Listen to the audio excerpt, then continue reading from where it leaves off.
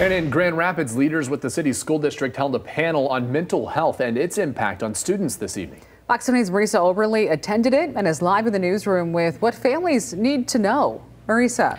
Janice and Josh, GRPS put on tonight's meeting and another one held last month after four students brought guns to their classrooms during the 2022-2023 school year. Officials stress that in order to reduce incidents like it in the future, they need to prioritize their scholars' emotional needs just as much as the physical ones.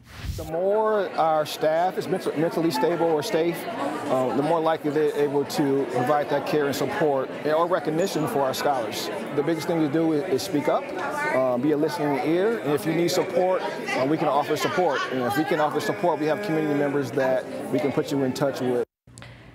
Mel Atkins oversees the district's mental health resources. He says they employ 24 therapists, and while that may not seem like a lot, three years ago that number was zero. GRPS also partners with other organizations like Kent School Services Network, Family Outreach Center, and DA Blodgett to provide further support.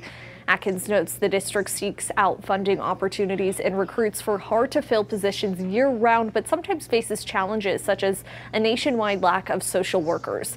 He sat on tonight's panel with four other community members who work as counselors throughout West Michigan.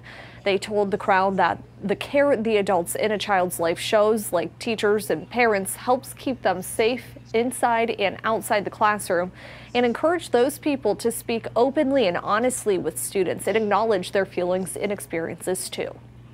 You really have to do active listening, active, active observing, um, and we have to almost go out of our way. If it's even uncomfortable or it makes us look absolutely silly, we have to meet kids on their level and where they are to actually break through and get that level of vulnerability and transparency that we need.